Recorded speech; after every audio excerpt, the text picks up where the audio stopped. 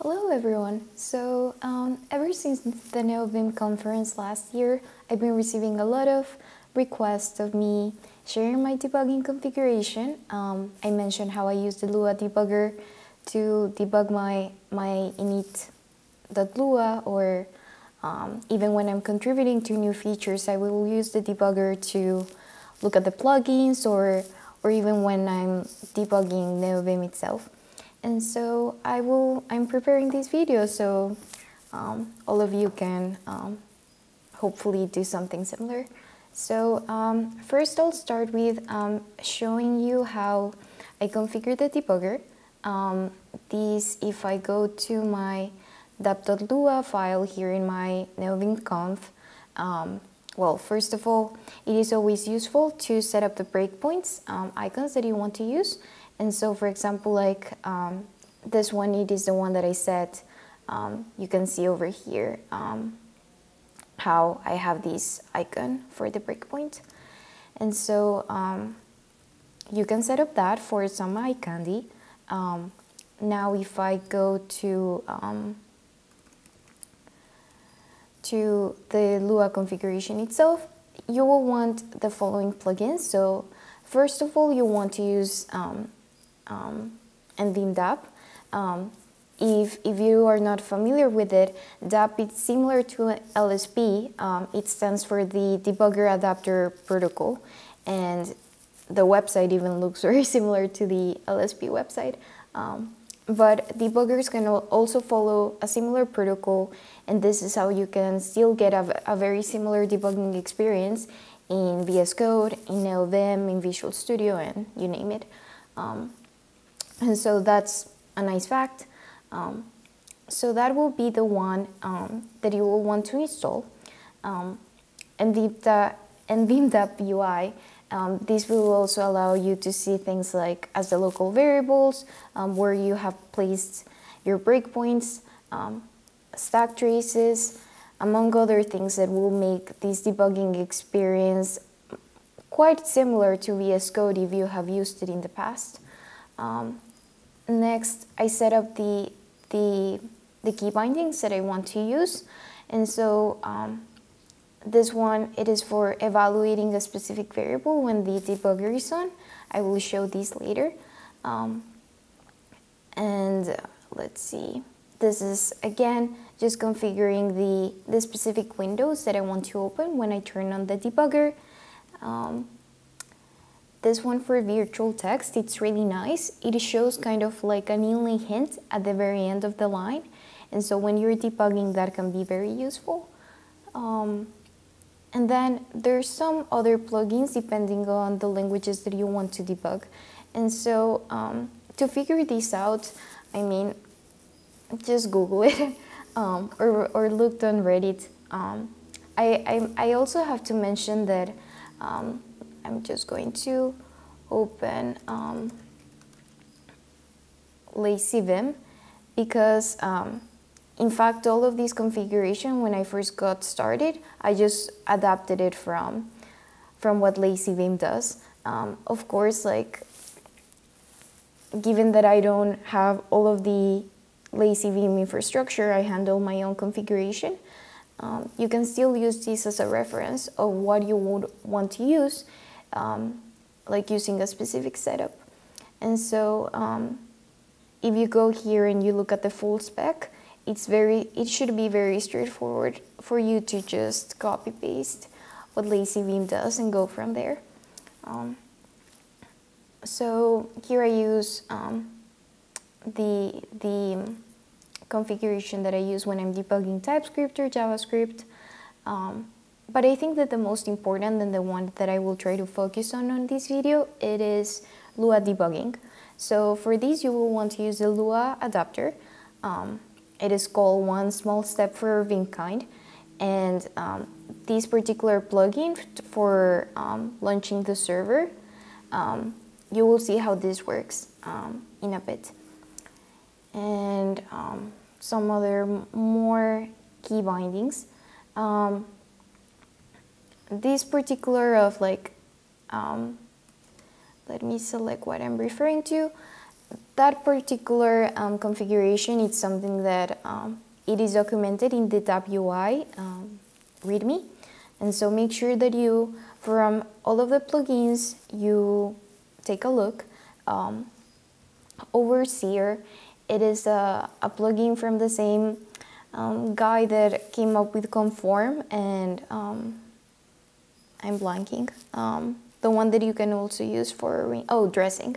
And so he has amazing plugins and Overseer allows you to run pre and post um, debugging tasks, which are often defined in .vscode folders.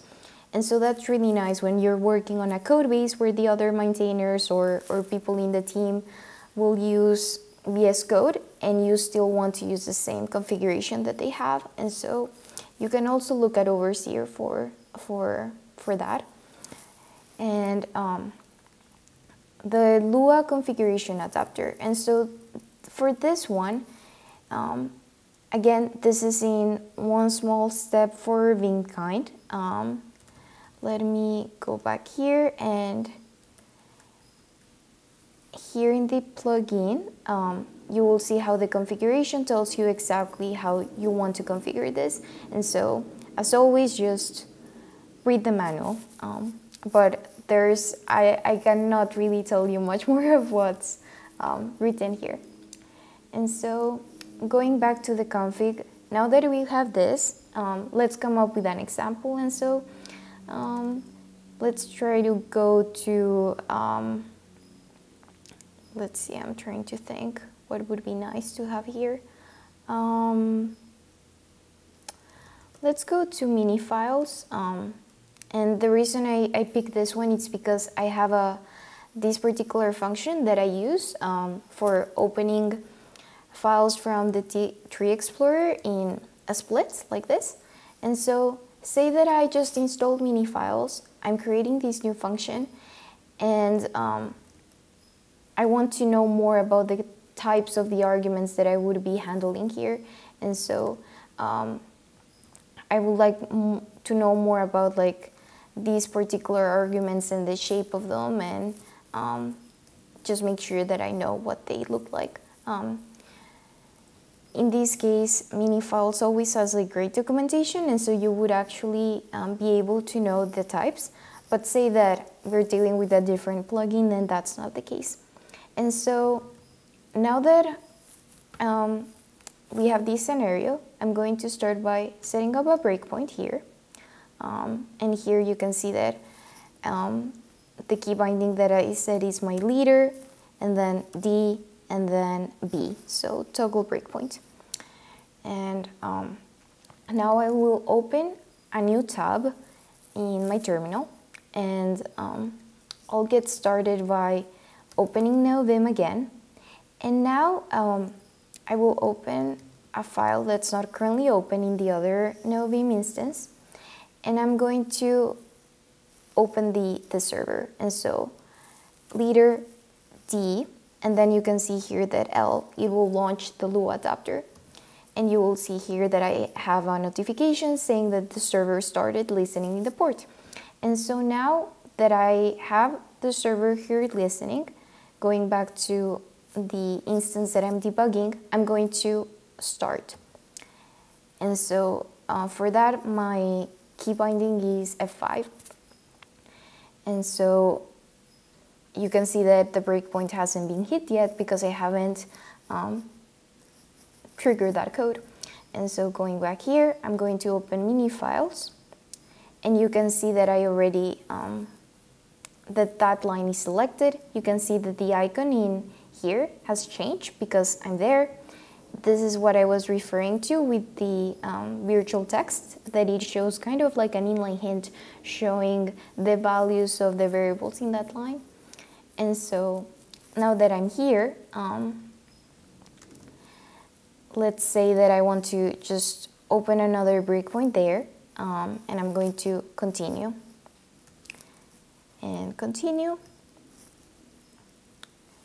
And now this, now that when I press Ctrl V, which is the key binding that I said in line 23 over here, that should trigger the right hand side function, which is the one that in, in line 20, it is the, the one that I have as a second um, breakpoint over here. And so um, Control V, and here I'm hitting the second breakpoint. Um, let's see that I, I don't know how um, the functions that are available in the mini files API. And so here in the locals window in the debugger, um, you can press enter to expand them and see um, what the variables of that, what that module looks like. Um, you can also look at the stack trace um, here. There doesn't seem to be a very exciting stack trace because I guess that this is just the callback of the key map, so there's not a lot to look at. But say that here I continue, continue, continue, and um, that way you can look at what the code looks like um, in your debugging configuration when you're customizing it or there's a new bug and you want to be a very nice person and have a lot of information when you go to the plugin repo and open the issue, it is amazing when you're able to say, oh, there's a bug and I know how to fix it. And so that's um, a first scenario that I wanted to present. Um, now, you can very easily just um, exit that instance and that should automatically close the debugger. Um, and so, okay, um, now that out of the way, um, let's say that um, instead of debugging my code or my configuration, I want to debug a plugin. And so if you're using Lazy um, as a package manager, um, I'm not too sure of other package managers, but I imagine that it would be something very similar. Um, Lazy stores your plugins, like the code itself, in local um, share um, let's see, nvim, um, Lazy, and um, let's see, what's a nice one? Um, I mean, let's go to mini files um, again, and here you can also debug the code that's not yours. And so, let's see, um, let's go to like a random function. Um, let's see, config, default config. Um, mm -hmm. Trying to think of like one that won't immediately just um, stop. Um, so okay, see that something it's wrong with the with the mappings that I said that I try to set up a, a, a binding in the plugins configuration and then it doesn't end up being what I expected. And so let's say that I'm going to debug the map, um, which I haven't opened this file before, but briefly it seems to be the one that will set up the key maps based on the plugins configuration. And so again, just as before, you can set up a breakpoint there. Um, and here opening another instance. In this case, I'm going to um, start the Lua debugger right away before I even start, um, before I even open a buffer, just because um, I have a suspicion that this function will run um, when the plugin is first loaded. And so now if I try to open mini files, indeed, um, here I, I try to open mini files. It's not open yet because it's waiting on the debugger. And so at this point, you can, just as before, look at the values of the locals. Um, here it seems that there are like options for the key map that I'm setting. Um, you can see in this case that we have a more interesting um, stack trace. And so if you want to go up in the stack trace to the function that it's calling uh, map, um, you can go here and press enter, um, I think. Or no. Let's see, do I have a key map for that? Um, it seems like I don't. Wait. I was not ready for this. But okay, I don't want to spend too much time on that. Um, this was not pre-recorded. So um, but I'm sure that you can configure it to go upwards in the stack trace where I actually think that there's like a adapt like go back or go forward um, map for that. Um, so yeah I think that that's um, all that I have and that I wanted to show. Um, I'm just going to remove that breakpoint um, and now you can see that the um, mini files it's open because it's not longer stuck on the on the debugger on the other instance. And um, I'm going to be closing this um, and I just want to see if there's anything else interesting here um, to show you all. Um, well something really nice um, now that I see like a breakpoint condition so, like, say that you want to set up a breakpoint just like to see if um, some code is being hit. Um, but you don't want to stop every single time. And so, something really useful that you can set it is, um, I don't know. This might be very silly, but say that we want to set up a breakpoint here, and um, you can here say give like a boolean condition indicating when you want to actually hit on that breakpoint and just not continue any every single time. And so say that I just want to stop if for some weird reason um, the DAP module is nil. And so once you do that um, that breakpoint will only be hit under that particular condition so that you don't need to continue pressing continue continue or F5 um, just for that um, like just just for that particular case. Um, and so in that case you can see that I have that breakpoint there. Um, I also wanted to show you how you can configure um, the highlights that you want. And so here I set it up to be similar to my color theme. Um, I use a variation of Dracula that I deal with myself. Um, and um, yeah, I think that that's all that I wanted to share for today.